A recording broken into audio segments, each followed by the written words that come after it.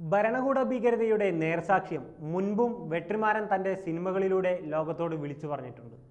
M ചന്ദ്രകുമാറിന്റെ lockup എന്ന നോവലിനെ ആസ്പദമാക്കി രണ്ടായിരത്തി പതിനാറിൽ വെട്രിമാരൻ സംവിധാനം ചെയ്ത ചിത്രമാണ് വിസാരണ. എഴുപത്തി രണ്ടാമത് വെനീസ് ഇന്റർനാഷണൽ ഫിലിം ഫെസ്റ്റിവലിൽ പ്രദർശിപ്പിച്ച ചിത്രത്തിന് ആംനസ്റ്റി ഇന്റർനാഷണൽ ഇറ്റാലിയ അവാർഡ് ലഭിച്ചിരുന്നു. കൂടാതെ ആ വർഷത്തെ മികച്ച വിദേശ ഭാഷാ ചിത്രത്തിനുള്ള ഇന്ത്യയുടെ ഔദ്യോഗിക ഓസ്കാർ എൻട്രി കൂടിയായിരുന്നു വിചാരണ. പോലീസ് എന്ന ഭരണകൂടത്തിന്റെ മർദ്ദനോപകരണം എങ്ങനെയാണ് ബഹുജനങ്ങളെ വേട്ടയാടുന്നതെന്നും ഭരണകൂട ഭീകരത എന്നത് എത്രത്തോളം വയലൻസ് നിറഞ്ഞതാണെന്നും സിനിമ സംസാരിക്കുന്നു.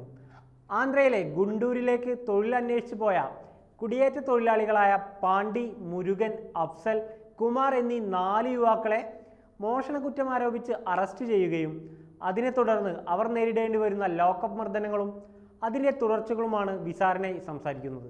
വിജയ് സേതുപതിയെയും സൂര്യയെയും പ്രധാന കഥാപാത്രങ്ങളാക്കി വെട്രിമാരൻ സംവിധാനം ചെയ്ത വിടുതലെ സംസാരിച്ചതും അത്തരമൊരു ഭരണകൂട ഭീകരതയെക്കുറിച്ചാണ്. രണ്ട് ഭാഗങ്ങളായാണ് ചിത്രം പുറത്തിറങ്ങുന്നത്. ആദ്യ ഭാഗം കഴിഞ്ഞ വർഷം തിയേറ്ററുകളിൽ പ്രദർശിപ്പിക്കുകയും മികച്ച പ്രേക്ഷക നിരൂപക പ്രശംസകൾ നേടുകയും ചെയ്തിരുന്നു. ചിത്രത്തിന്റെ രണ്ടാം ഭാഗത്തിന് വേണ്ടി കാത്തിരിപ്പിലാണ് സിനിമാ പ്രേമികൾ.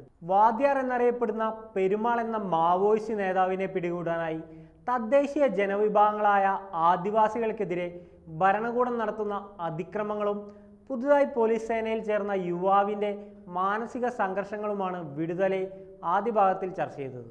രണ്ടാം ഭാഗത്തിൽ എങ്ങനെയാണ് പെരുമാൾ എന്ന മാവോയിസ്റ്റ് നേതാവ് രൂപം കൊണ്ടതെന്നും അതിനു പിന്നിലെ രാഷ്ട്രീയവുമായിരിക്കും ചിത്രം ചർച്ച ചെയ്യുക. മഞ്ജു വാര്യരും ചിത്രത്തിലുണ്ടെന്ന് നേരത്തെ റിപ്പോർട്ടുകൾ ഉണ്ടായിരുന്നു. പ്രശസ്ത തമിഴ് മലയാളം നോവലിസ്റ്റ് ബി ജയമോഹന്റെ തുനൈവൻ എന്ന ചെറുകഥയെ ആസ്പദമാക്കിയാണ് ചിത്രമൊരുക്കിയത്. ജയമോഹനും വെട്രിമാരനും ചേർന്നാണ് ചിത്രത്തിന് തിരക്കഥയൊരുക്കിയിരിക്കുന്നത്.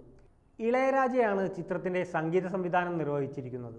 കഴിഞ്ഞ ദിവസം ചിത്രത്തിന്റെ രണ്ടു ഭാഗങ്ങളും റോട്ടർഡാം ഇന്റർനാഷണൽ ഫിലിം ഫെസ്റ്റിവലിൽ പ്രദർശിപ്പിക്കുകയും മികച്ച നിരൂപക പ്രശംസകൾ നേടുകയും ചെയ്തിരുന്നു.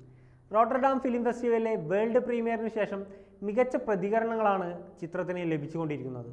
പ്രദർശനത്തിന് ശേഷം അഞ്ച് മിനിറ്റോളം കാണികൾ എഴുന്നേറ്റ് നിന്ന് കൈയടിച്ചുകൊണ്ടാണ് ചിത്രത്തിന് ആദരം നേർന്നത്.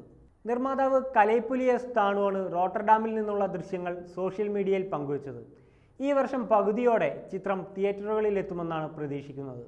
ജല്ലിക്കെട്ട് പ്രമേയമാവുന്ന സി എസ് ചെലപ്പയുടെ വാടിവാസൽ എന്ന നോവലിനെ ആസ്പദമാക്കി സൂര്യനായകനാവുന്ന വാടിവാസൽ എന്ന ചിത്രമാണ് വെട്ടിമാരന്റെതായി അടുത്തതായി പുറത്തിറങ്ങുന്നത്.